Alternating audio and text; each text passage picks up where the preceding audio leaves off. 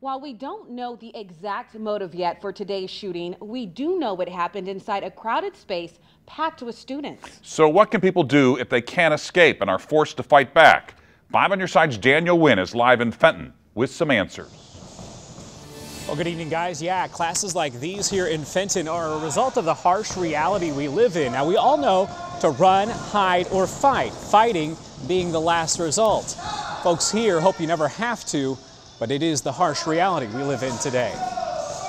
I'm redirecting that line of fire off my body. Steve Sculzy is with Krav Maga, a self-defense and training company in Fenton. I'm gaining control. I'm striking my attacker. He's the only Krav Maga certified black belt in Missouri, a far cry from the kid he grew up being. Well, I was, grew up, you know, overweight and bullied as a kid and uh, wanted to not be bullied anymore. That's why he made it his mission to train everyone, from kids to grandparents, how to react whether they're being attacked or a gun is pointed at you them. know, what we call like a live side and a dead side. I can redirect this way, come in, boom, strike, strike, strike, and then create distance. So I, I, I like to teach people to use the weapon as a tool. This is a training video from his gym.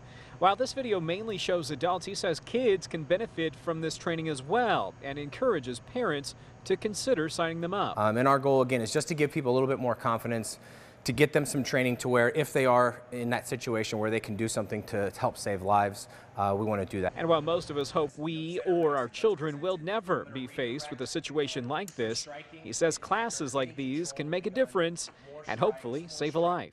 I always hate to say that, you know, as the world gets worse, we get busier.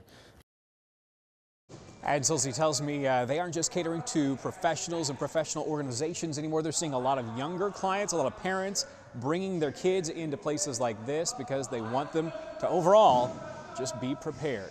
Reporting live in Fenton, Daniel Wynn, 5 on your side.